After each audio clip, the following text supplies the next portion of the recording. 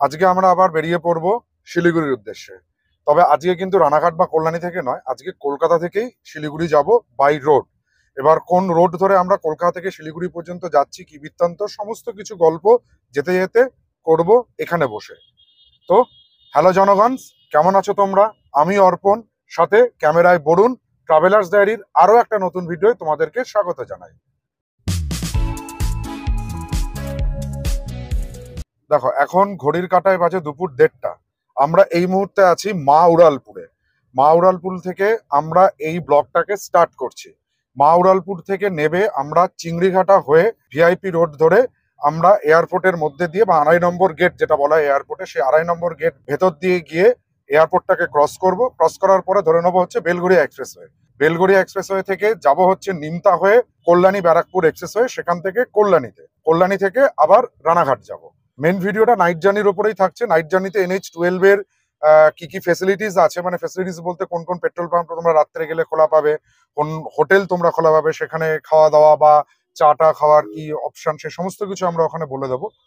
আর তো এটা তো অবকাশ রাখছেই না বলার যে কলকাতা থেকে শিলিগুড়ি মানে এনএইচ থার্টি ফোর বা এনএইচ টুয়েলভ এটা হচ্ছে সব থেকে শর্টেস্ট রুট টোটাল পাঁচশো নব্বই কিলোমিটার মতো আর কি দূরত্বটা পড়ে। তা এই মুহূর্তে আমরা কিন্তু চিংড়িঘাটা মোড়ে রয়েছি। চিংড়িঘাটার মোড় দুপুরবেলায় হালকা পাতলা একটা রানিং ট্রাফিক আছে, তবে সিগনাল আছে সিগনালে বেরিয়ে যাচ্ছে গাড়ি। আমরা যেদিকটা যাচ্ছি সেটা হচ্ছে সামনে ওই বিবেকানন্দ যুবভারতী ক্রীড়াঙ্গন বা হচ্ছে সল্টলেক স্টেডিয়াম আর দেখো যে ডান দিকে যে রাস্তা চলে গেল, এটা কিন্তু সল্টলেকের ভেতরে সেক্টর ফাইভে বা স্বাস্থ্য ভবন যেদিকে, সেদিকটা তোমরা চলে যেতে পারো এই রোডটা ধরে। নিকো পার্কও পড়বে ডান দিকের রাস্তায়। আর আমরা এখন সোজা এগিয়ে যাচ্ছি বিবেকানন্দ যুবভারতী ক্রীড়াঙ্গন, অ্যাপেলো হাসপাতাল, ওই দিক ধরে ভিআইপি ধরবো ভিআইপি ধরে এয়ারপোর্টে চলে যাব। এই মুহূর্তে আমরা এয়ারপোর্ট আড়াই নম্বর গেটে ঢুকছি মানে এয়ারপোর্টের ভেতরে যাব। এই আড়াই নম্বর গেটের রাস্তা দিয়ে ঢুকে এয়ারপোর্টের মধ্যে দিয়ে আমরা বেরিয়ে যাব হচ্ছে বেলগড়িয়া এক্সপ্রেসওয়ের দিকে। এই আমরা ভিআইপি রোড ছেড়ে দিলাম, ছেড়ে দিয়ে আমরা ঢুকে গেলাম এয়ারপোর্ট অথরিটি অফ ইন্ডিয়া বা কলকাতা যেটা বলা দমদম বা নেতাজি সুভাষচন্দ্র বোস আন্তর্জাতিক বিমানবন্দরের সামনে দিয়ে আমরা এখন যাচ্ছি। এয়ারপোর্ট থেকে বেরিয়ে পড়েছি। বেরিয়ে পড়ে এখন আমরা যশোর রোডে এসেছি এনএইচ থার্টি ফাইভ আমরা এখান থেকে বাঁ দিকে বেলঘুরিয়া এক্সপ্রেসওয়ে ধরবো। বাট সামনের যে মোড়টা পড়বে, এই মোড় থেকে তোমরা যশোর রোড ধরে বারাসাত মধ্যমগ্রাম জাগুলি হয়ে ডিরেক্ট এনএইচ টুয়েলভ ধরেও শিলিগুড়ি যেতে পারো। আর আমরা, আমাদের কিছুটা কাজ আছে, কিছু কাজের জন্য আমরা এক্সপ্রেসওয়েটা ধরবো।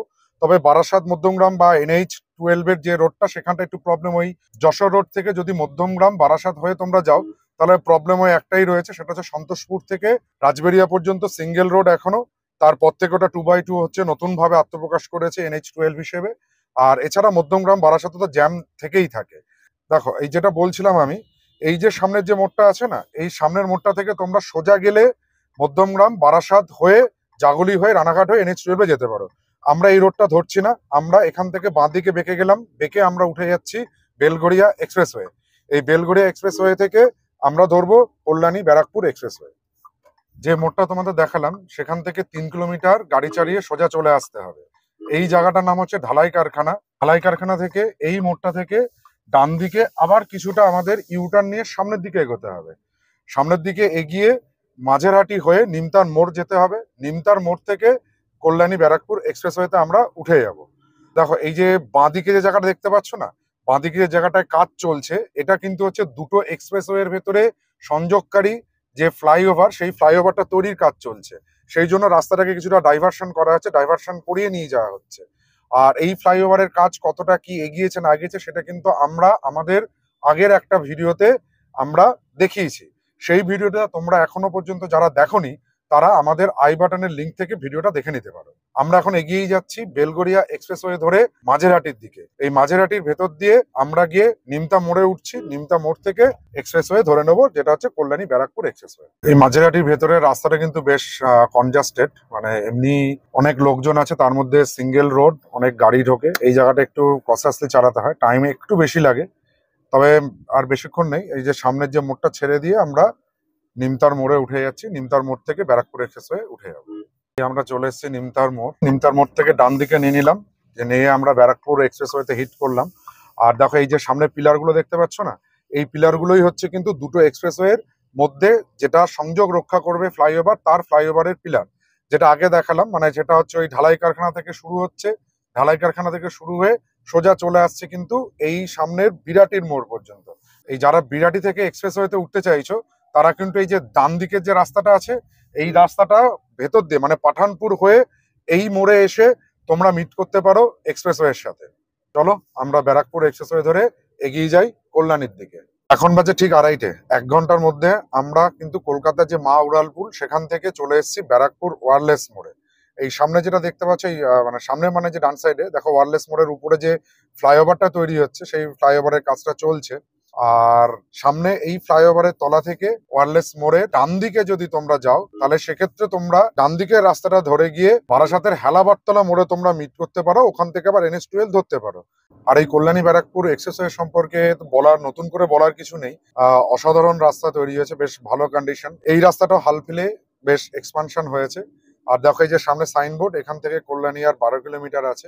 আর এই রাস্তার উপর আমরা একটা আলাদা ডেডিকেটেড ভিডিও বানিয়েছিলাম। সেই ভিডিওর লিঙ্ক আমরা আই বাটনে অথবা ডিসক্রিপশন বক্সে দিয়ে দেবো। তোমরা দেখে নিও যারা এখনও পর্যন্ত দেখোনি। আর এই রাস্তা দেখো three by three entire three by three এই রোডটাই হয়েছে। রোডটা বেশ ভালো, সুন্দর রোড এখন বাজে দুটো পঞ্চাশ মানে দেড়টা থেকে দুটো পঞ্চাশ। এক ঘণ্টা কুড়ি মিনিটের মধ্যেই কিন্তু আমরা চলে এসেছি কাপার মোড়ে।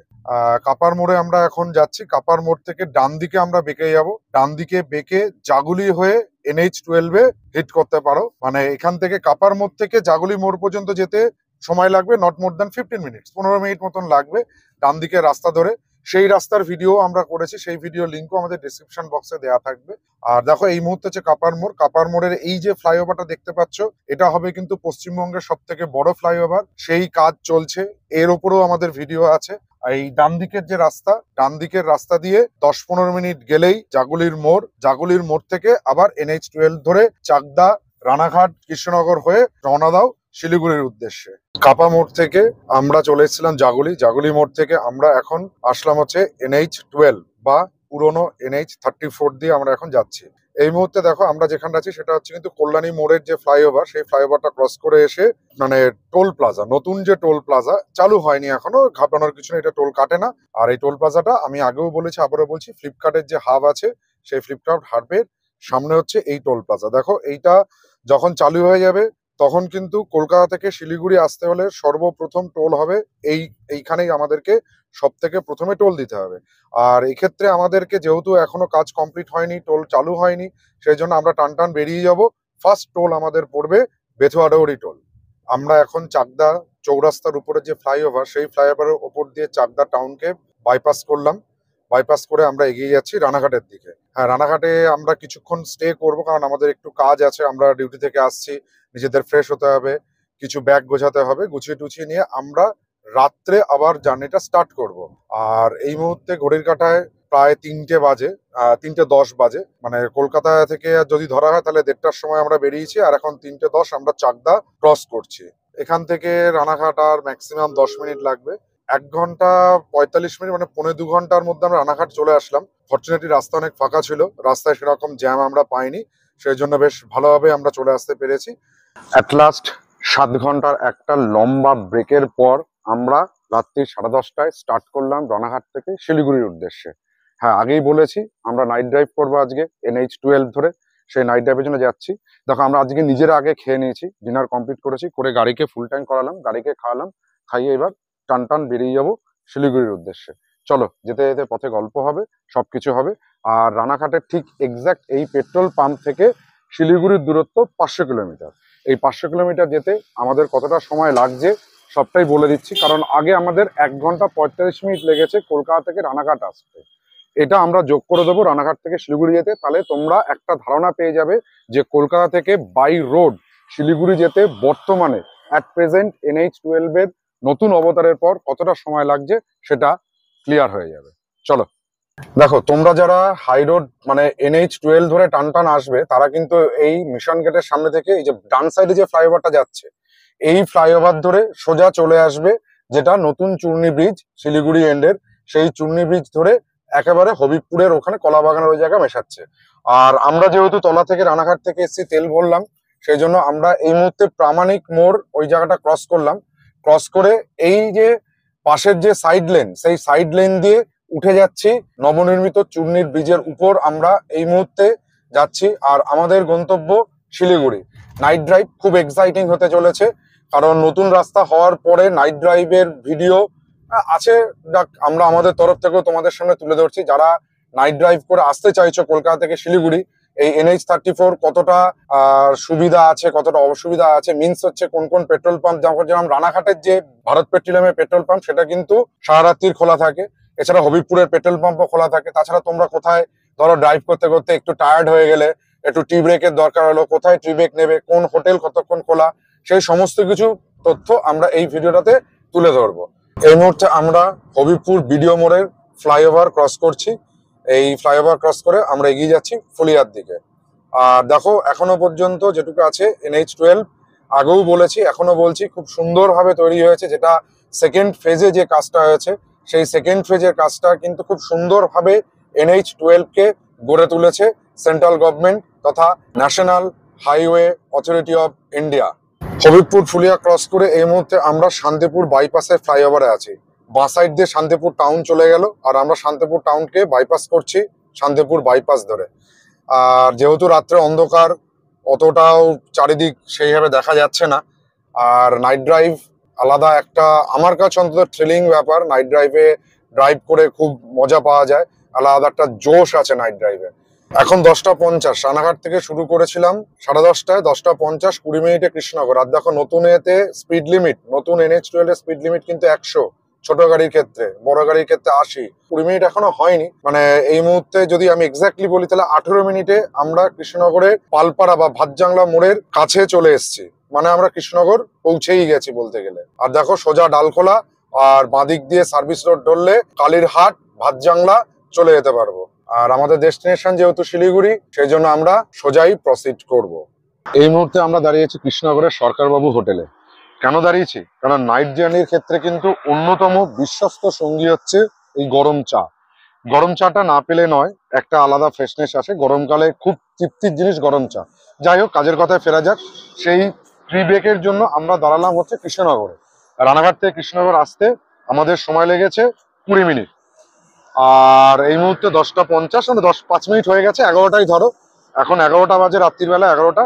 আমরা এবার চা খেয়ে স্টার্ট দেবো টুয়ার্ডস বহরমপুর। সরকারবাবু থেকে চা খেয়ে দশ মিনিটের একটা ব্রেক নিয়ে আমরা এই মুহূর্তে কৃষ্ণনগরের জলঙ্গি সেতুর উপরে।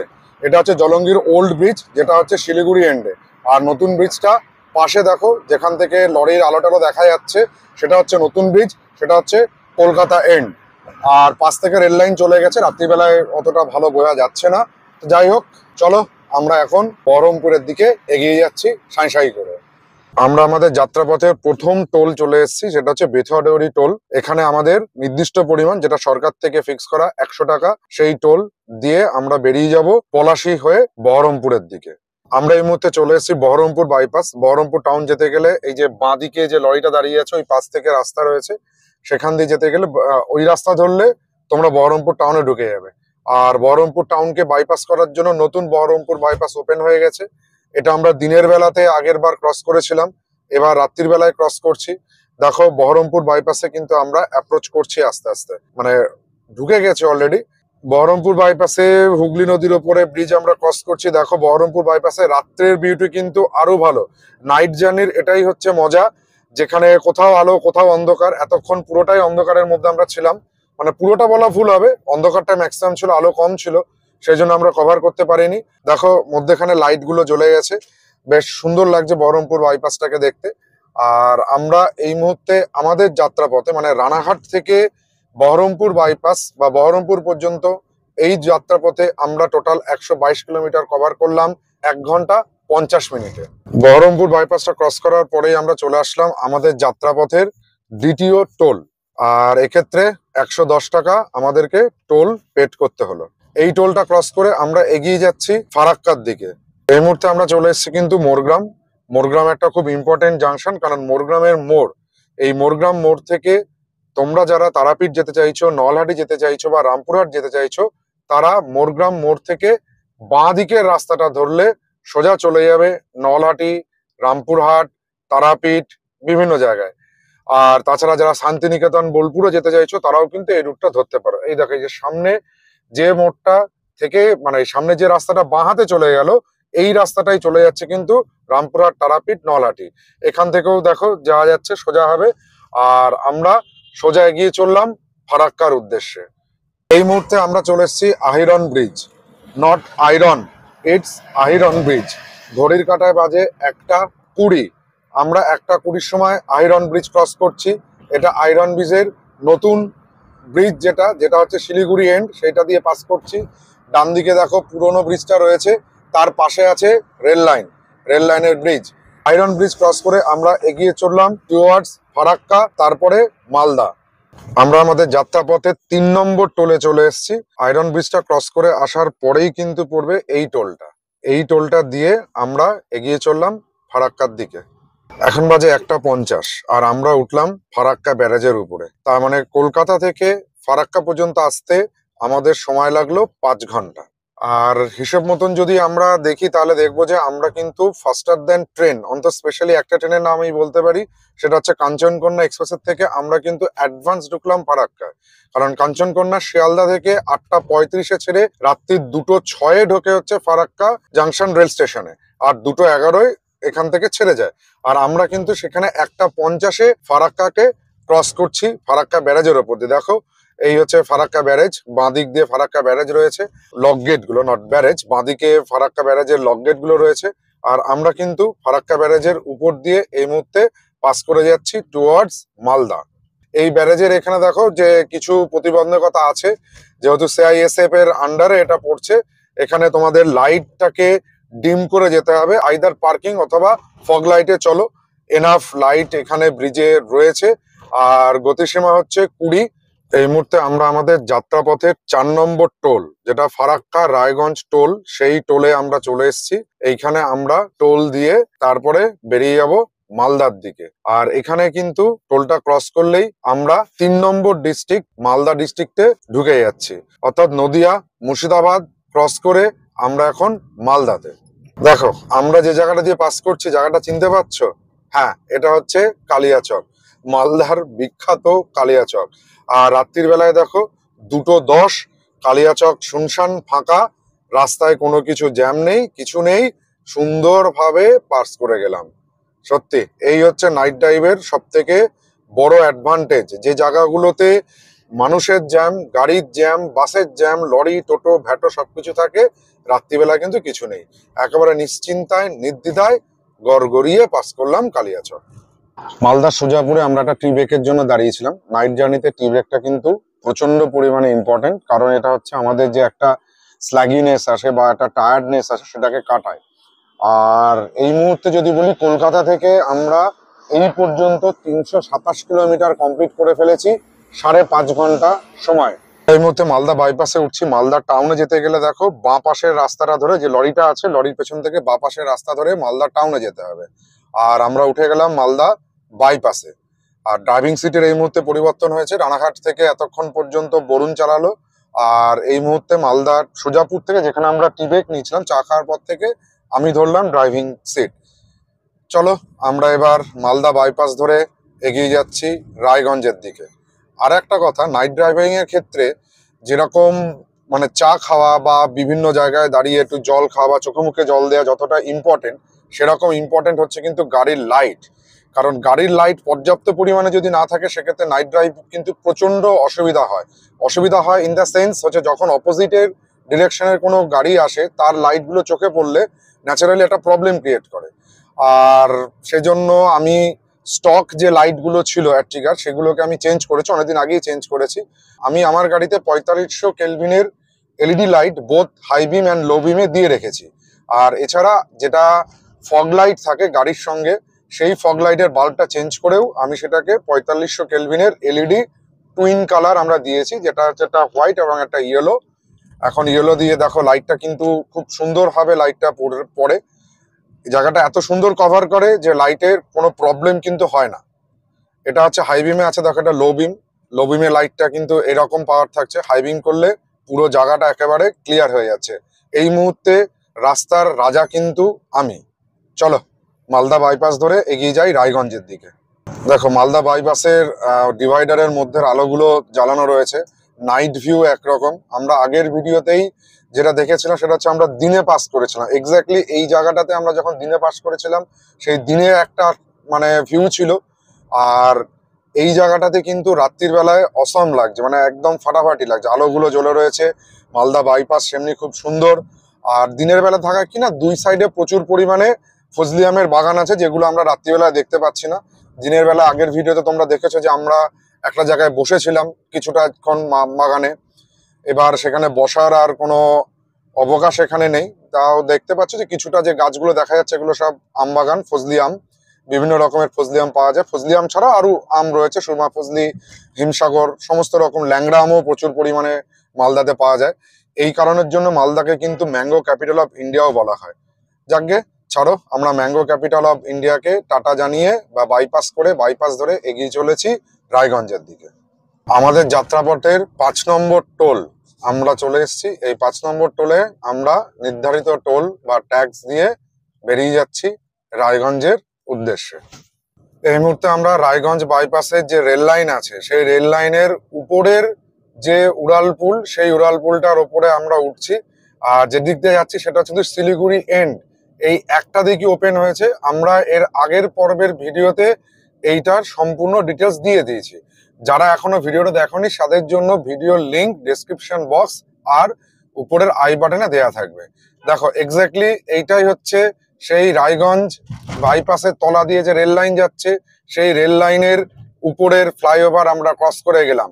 একদিক ওপেন হয়েছে, একদিকে এখনও ওপেন হয়নি। বহু টালবাহানার পর, বহু ঘাত প্রতিঘাতের পর এই একটা দিক অন্তত ওপেন হয়েছে। এতে হওয়াতে কলকাতা থেকে শিলিগুড়ি বা রানাঘাট থেকে শিলিগুড়ি বা নর্থ বেঙ্গল সিকিম বা নর্থ ইস্টের যে কোনো স্টেটে যাওয়ার দূরত্ব দূরত্ব ঠিকই আছে মানে দূরত্ব যা হোক না কেন, সময়, পৌঁছানোর সময় কিন্তু অনেকটাই কমে গেছে। কারণ আমাদের আর রায়গঞ্জ শহরের ভেতর দিয়ে ঢুকতে হচ্ছে না। আমরা আমাদের যাত্রাপথের ছ নম্বর টোলে চলে এসেছি। এখানে আমরা টোল দিয়ে এগিয়ে যাব ডালখোলার উদ্দেশ্যে। আর দেখো, রায়গঞ্জে আমরা যখন ক্রস করছি, রায়গঞ্জে তখন ঘড়ির কাটায় সাড়ে তিনটে। মানে রানাঘাট থেকে আমরা পাঁচ ঘন্টায় রায়গঞ্জ ঢুকে গেছি। ঘড়ির কাটায় চারটে তেরো। আর আমরা এসে গেলাম, দেখো, পূর্ণিয়া মোড়। এই পূর্ণিয়া মোড় থেকে আমরা ডান দিকে ঘুরে যাব কিষানগঞ্জের দিকে। আর তো- আর তোমরা যারা পূর্ণিয়া যেতে চাইছো, তারা কিন্তু বাঁদিকে ঘুরে যাবে। আর এই জায়গা থেকে এই ফ্লাইওভারটা যেখানে গিয়ে শেষ হয়ে যে রাস্তাটা আমরা মিশবো সেখানে কিন্তু এনএইচ টুয়েলভ বা এনএইচ থার্টি ফোর শেষ হয়ে যাচ্ছে। আমরা গিয়ে মার্চ করছি এনএইচ থার্টি ওয়ান বা এনএইচ টোয়েন্টি সেভেনে চলো, আমরা এনএইচ টোয়েন্টি সেভেন বা এনএইচ থার্টি ওয়ান ধরে এবার এগিয়ে যাব সোজা কিষানগঞ্জের দিকে। আমাদের যাত্রাপথে পূর্ণিয়া মোড়টা ক্রস করে আসার পরেই কিছুটা এগিয়ে এসে কিষানগঞ্জ ঢোকার আগে পড়ল সপ্তম টোল, যেটা হচ্ছে সূর্যাপুর টোল। এই সূর্যাপুর টোলে আমরা টোল দিয়ে এগিয়ে যাব কিষানগঞ্জের দিকে। সূর্যের আলো ফুটলো কিন্তু বিহারের কিষানগঞ্জে। ঘড়ির কাঁটায় এখন বাজে চারটে তেতাল্লিশ। আর কিষানগঞ্জের এই বাঁ দিকে দেখো, কিষানগঞ্জ রেলওয়ে স্টেশন, একটা মালগাড়ি ঢুকছে। এটা হচ্ছে রেল লাইন, এই পাশ থেকে রেলপথ গেছে। এটাই কিন্তু শিলিগুড়ির দিকে চলে যাচ্ছে। কলকাতা থেকে কিষানগঞ্জের দূরত্ব চারশো পঁচাশি কিলোমিটার। আমরা এই চারশো পঁচাশি কিলোমিটার যাত্রাপথ অতিক্রম করলাম প্রায় আট ঘণ্টার সময়। এখান থেকে শিলিগুড়ি যেতে আমাদের আর সাতানব্বই কিলোমিটার বাকি আছে। চলো, আমরা শিলিগুড়িতে দিকে এগিয়ে যাই। এই মুহূর্তে আমরা চলে এসেছি ইসলামপুর বাইপাস। ঘড়ির কাটায় সকাল পাঁচটা দশ। আমরা ইসলামপুর বাইপাস ধরে এগিয়ে যাচ্ছি শিলিগুড়ির উদ্দেশ্যে। শিলিগুড়ির খুব কাছাকাছি চলে এসেছি। আমাদের যাত্রাপথের অষ্টম এবং অন্তিম টোল বুথ আমরা এখন পার করব। এই দেখো, এই সামনেতেই হচ্ছে আমাদের যাত্রাপথের অষ্টম আর শেষ টোল বুথ। এই বুথটা পার করেই আমরা চলে যাব হচ্ছে ঘোষপুকুর মোড়। রানাঘাট থেকে শিলিগুড়ি আসতে আমাদের কিন্তু সময় লেগেছে আট ঘণ্টা। কারণ আমরা রাত্রি সাড়ে দশটায় কালকে স্টার্ট করেছিলাম আর এই মুহূর্তে বাজে সকাল ছটা কুড়ি। রোদ দেখে মনে হচ্ছিল অনেকটা বেলা হয়ে গেছে। ছটা কুড়ি আমি ধরে নিলাম আট ঘণ্টা, আট ঘন্টাও লাগেনি। গুগল ম্যাপে কিন্তু এটা সময় দেখাচ্ছে প্রায় সাড়ে দশ ঘণ্টা। তাহলে আমরা কিন্তু গুগল ম্যাপ থেকে প্রায় আড়াই ঘণ্টা আগেই শিলিগুড়ি পৌঁছে গেছি। আর যদি বলা হয় রোডের কন্ডিশন বা রাত্রে সেফটি সিকিউরিটি বিষয়, রোডের কন্ডিশন খুবই ভালো, তবে এনএইচ টোয়েন্টি সেভেন মানে পূর্ণিয়ার মোড় থেকে যখন শিলিগুড়ির দিকে যে রোডটা আসছে, সেই রোডটা যখন আমরা ধরেছি, সেই রোডটার কন্ডিশন কিন্তু খুবই খারাপ। খারাপ বলতে মানে ওই স্মল এর মতন দাগ হয়ে রয়েছে মানে স্পট হোল অনেক বেশি আছে, গাড়ি একটু ধীরে সুস্থে চালাতে হয়েছে, খুব বেশি স্পিড মেনটেন করা হয়নি। আর এন্টার রোড যদি বলা হয়, রানাঘাট থেকে শিলিগুড়ি পর্যন্ত আমরা কিন্তু খুব বেশি ওভার স্পিডিং এ আসিনি। অ্যাভারেজ স্পিড আমাদের ওই আশি থেকে নব্বই এর মধ্যেই ছিল। আর খাবার হোটেল রাত্রিবেলায় প্রচুর খোলা থাকে, যেরকম পাপ্পুদা ধাবা খোলা আছে আরও রোড সাইড বিভিন্ন কিছু ধাবা খোলা থাকছে, যেখানে তোমরা চা টা খেতে পারো বা ডিনার যদি না করে আসো ডিনার করতে পারো। আমি যেমন খাওয়ার জায়গার জন্য যেরকম বললাম যে পাপ্পুদা ধাবা খোলা আছে বা কিছু আর একটা খুব ভালো ধাবা এই রুটে পড়ে, সেটা হচ্ছে পারদেশি ধাবা। এই পরদেশি ধাবাও কিন্তু দেখলাম টোয়েন্টি ফোর ইন্টু সেভেন খোলা থাকছে। রাত্রিবেলাতেও খোলা ছিল, অনেক গাড়ির ভিড়ও ছিল। তোমরা পরদেশি ধাবাকেও কনসিডার করতে পারো। আর কি বলব বলো? যে যা দেখাচ্ছে গুগল ম্যাপে যা সময় রয়েছে তার থেকে অনেক কম সময়ে চলে আসবে। এনএইচ টুয়েলভ বা এনএইচ থার্টি ফোর মানে পুরোটা মানে জাগুলি যেটা রয়েছে, জাগুলির ওখান থেকে শুরু করে শিলিগুড়ি পর্যন্ত টু বাই টু রোড হয়ে গেছে। কোনো প্রবলেম নেই স্মুথলি তোমরা আসতে পারবে কি দিনে কি রাত্রে? যখনই তোমরা ড্রাইভ করো না কেন, চলে আসতে পারবে। খাবার প্রচুর অপশন পাবে রিফিলিং এর প্রচুর অপশন পাবে, কোনো কিছুতেই প্রবলেম নেই। আর নাইট জার্নিতে যেটা মেন যেটা ব্যাপার হচ্ছে, সেটা হচ্ছে যে সিকিউরিটি সিকিউরিটির বিষয়ে যেটা বলেই দিলাম ওয়েস্ট বেঙ্গল গভর্নমেন্টের ওয়েস্ট বেঙ্গল পুলিশ সারা রাস্তা ধরেই আছে। তারা টহল দিচ্ছে পেট্রোলিং কার রয়েছে। সেক্ষেত্রে নিরাপত্তা নিয়েও তোমাদের কোনো চিন্তা নেই। ঘোষমুকুরের মোড় থেকে বাঁ দিকের সার্ভিস লেন ধরে আমরা চলে আসলাম বাগডোগরা হয়ে শিলিগুড়ির দিকে। হ্যাঁ যে জায়গাটা দাঁড়িয়ে আছি, এই জায়গাটা থেকে শিলিগুড়ি আর পাঁচ কিলোমিটার দূরে। এই পেট্রোল পাম্পটা আমরা দাঁড়ালাম এই কারণে একটু ফ্রেশ হতে হবে, সেই জন্য। এখন ঘড়ির কাটায় ছটা কুড়ি। তার মানে আমি যদি মোটামুটি ধরে থাকি, কলকাতা থেকে শিলিগুড়ি পর্যন্ত মোট দূরত্ব পাঁচশো নব্বই কিলোমিটার। আর আমরা এখানে এসেছি পাঁচশো পঁচাশি কিলোমিটার। ধরেই নাও, আমরা শিলিগুড়ি পৌঁছেই গেছি। শিলিগুড়ি পৌঁছাতে আমাদের টোটাল টাইম লাগল কলকাতা থেকে এই পর্যন্ত টাইম লাগল ন ঘণ্টা পঁয়ত্রিশ মিনিট। তার মানে তোমরা ধরে চলো, দশ ঘণ্টার মধ্যে কিন্তু অনায়াসেই তোমরা কলকাতা থেকে শিলিগুড়ি চলে আসতে পারবে এনএইচ টুয়েলভ ধরে then NH thirty one NH twenty seven একই রাস্তা, নাম চেঞ্জ হয়েছে। এই পর্বে এই পর্যন্তই। তার মানে এটা যেটা দাঁড়াল সেটা হচ্ছে যে আমরা দশ ঘণ্টা মানে যে কোনো সুপারফাস্ট ট্রেন যেগুলো শিয়ালদা থেকে ছাড়ছে, দার্জিলিং মেল হোক, পদাতিক হোক কাঞ্চনকন্যা হোক, উত্তরবঙ্গ হোক এনিথিং সেই সমস্ত ট্রেনের থেকে কিন্তু আমরা ফাস্টার অনেকটা আগে এসে পৌঁছালাম শিলিগুড়িতে। যদি এই ভিডিওটি ভালো লাগে, তাহলে আমাদের চ্যানেল ট্রাভেলার্স ডায়েরিকে সাবস্ক্রাইব করো, পাশে থাকা বেল আইকনটিকে প্রেস করো, সবার আগে নোটিফিকেশন পাওয়ার জন্য। লাইক করো কমেন্ট করো শেয়ার করো। টাটা।